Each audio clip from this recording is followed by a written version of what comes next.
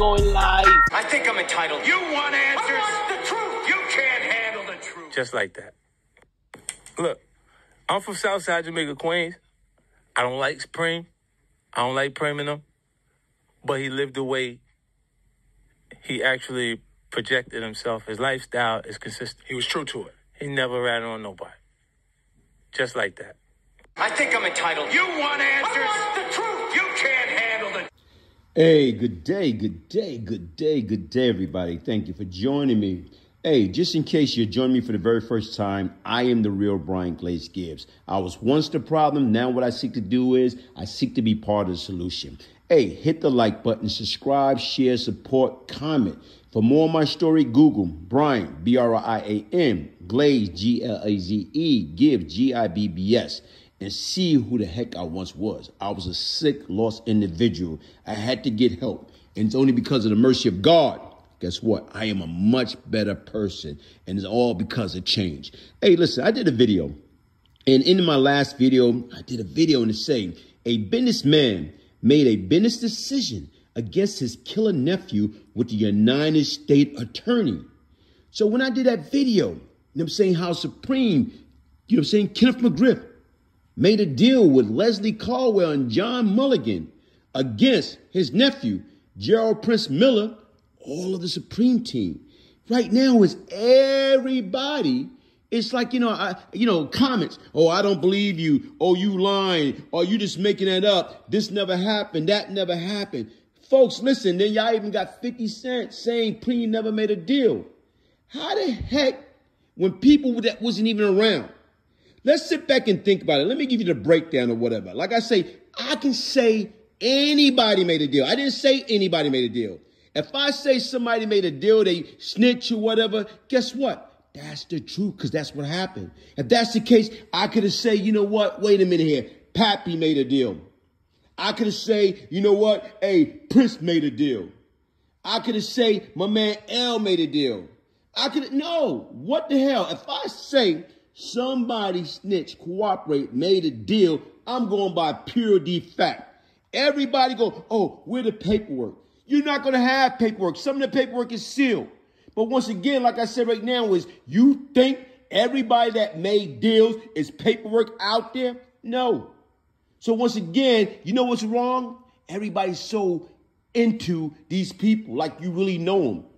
Everybody into, oh, what? Oh, I don't believe this. I don't believe that. Listen, man, guess what? Pressure busts pipe.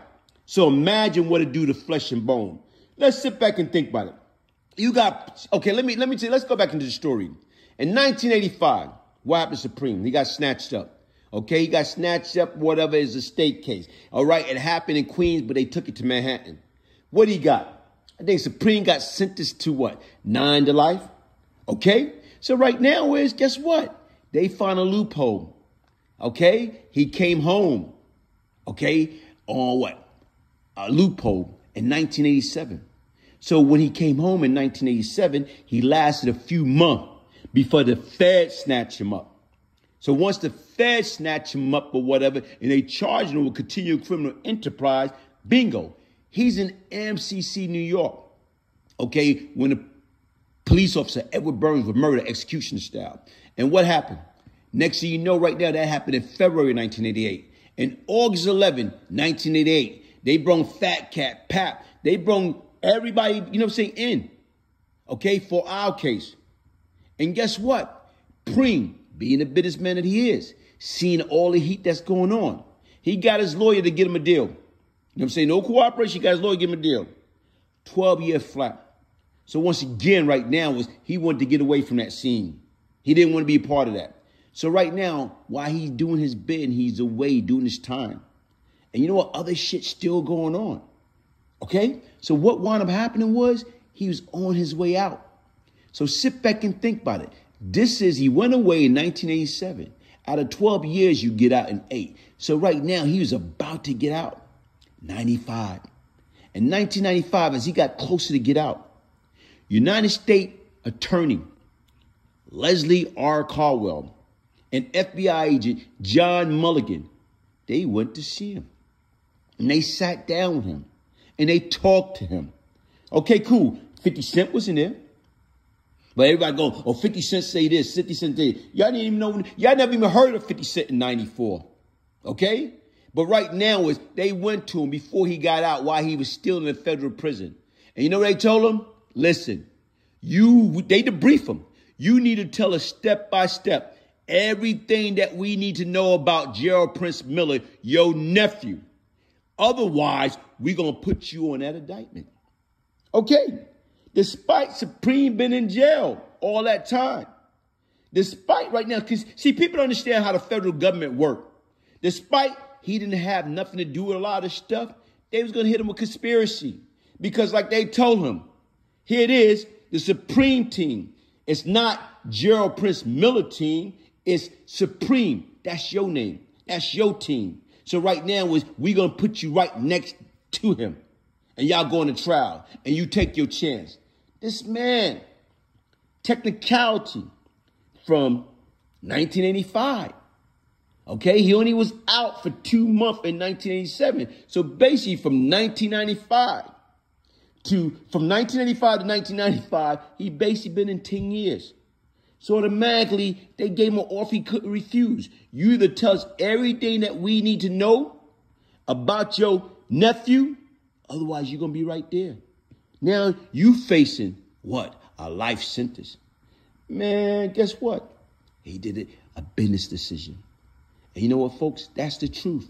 But what I learned about folks, like my man Jack Nicholson say, guess what? Y'all can't handle the truth. Y'all don't want the truth. Everybody want to live in fairy tale. Oh no, he didn't do this, he didn't do that. You know what? Was y'all there? Right now is guess what? And you know what? Guess what? Only thing Supreme have to do if I'm lying. Only thing he got to do. He got Irv Gotti in them pocket. He got he's in their pocket. Get them to sue me for defamation of character. You know, say for false statement. Get them to sue me. I'm not saying allegedly. I'm not saying allegedly. I'm saying it happened. Get Supreme, you know I'm saying right now, his crew to sue me and see what happened. When we go to the court of law, only thing I do is right now, yeah, okay. Did you say that? Yes, I say that. Why? What gave you the right to say that? Was you didn't know I was not there. But I know the people that was there. Leslie Caldwell and John, them say Mulligan. And basically right now is when we go to court, guess what would happen?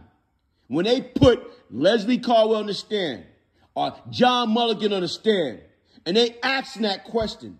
Did Kenneth, know I'm saying, Supreme McGriff made a deal? Did he give y'all information? Did y'all debrief him? What was the deal about? What did y'all talk about? Checkmate. And there's not a damn thing anybody can say about it. So right now, guess what? Y'all don't gotta believe me. If I say somebody say something, I cooperate, whatever, I don't gotta make it up. You know what I'm saying? It's not about that. The truth is the truth. Hey, hit the like button, subscribe, share, support. And like I said right now, right now, don't always know where the paperwork at. It's a lot of shit that's out there you ain't gonna see no paperwork in. One love. Long ago in the streets of Brooklyn, Blaze had me shook. If he liked what you had, what you had, that took it. Give me gangsta moves, ran with some gangsta dudes. You know I'm Brooklyn dude, straight take you fool. Me get that real 50 cent fat cat pimp. Had blocks on live, BGG movement. Here to improvements. Knock him out the box, Blaze. Knock him out the box, knock him out the box, Blaze. Knock him out the box. You know more Rilla, stories from more Rilla. Spit real facts, who you know more chiller. My name K2, you know what I'm saying, man? Young cat trying to get my life together, man. This right here, a lot of knowledge, man. Strong minded. I appreciate it. Big day, big day. Went ahead and got my book, Beyond Lucky, BGG, Brian Glaze Gibbs. Signed autograph copy means a lot to me. For my brother, day one support. Love and prosperity. Right back to you, my boy. My G, my big homie, my brother. Let's get it. Made Media Mafia Magazine exclusive. Mafia Apparel. Making a future in art. Making a difference every day.